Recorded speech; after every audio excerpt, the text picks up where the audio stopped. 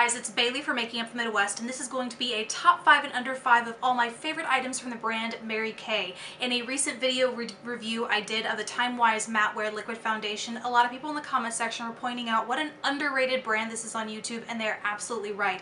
There, I've tried a ton of products from Mary Kay within the last year or two maybe even and they this is not your mom's Mary Kay. I remember going to Mary Kay parties as a kid and the products to me now are so different and I love a lot of them. Five that I'm going to tell you about in this video. So if you want to see which five I'm loving, please continue watching. First up, I won't talk too much about this seeing as how I just did a review on it, but it's the matte, uh, matte wear liquid foundation, the Time Wise line. I'm in the shade Ivory 7. Essentially, it's a full coverage matte foundation that doesn't dry your skin out, cake up on your skin. It's for combination to oily skin. I have combination and it works beautifully and lasts impeccably all day. You can see before and after pictures in that review review because it's just astonishing what this can do without primer or powder. So go check that out and let's move on to the next product. Next product is the Cream Eye Color. Mine is in the shade Apricot Twist and I've had this for about eight months. It is just as smooth, creamy, hydrated as it was the day I first opened it.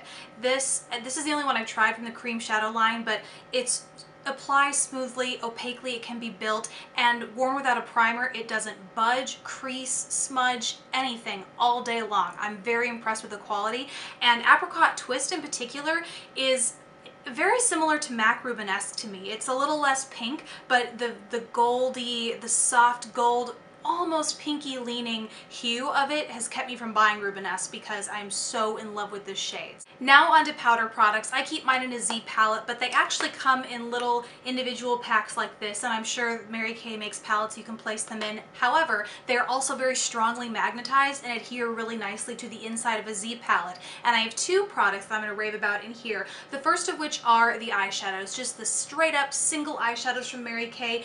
They do beautifully, and I have had a chance to try try. Both matte and satin. Some have glitter, basic eyeshadow colors, bright eyeshadow colors. There's this lime green right here, and I am, it's safe to say I am super impressed with all of them. That is item number three I think we were on. And then next, moving up towards the top, are the blushes.